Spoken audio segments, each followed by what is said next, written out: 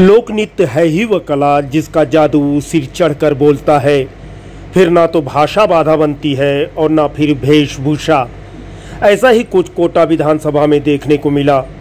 Booth चलो अभियान कार्यक्रम के दौरान बूथ निरीक्षण करने पहुँची। महिलाओं के सुआ नृत्य देखते ही प्रदेश कांग्रेस प्रभारी शैलजा अपने आप को रोक नहीं सकी।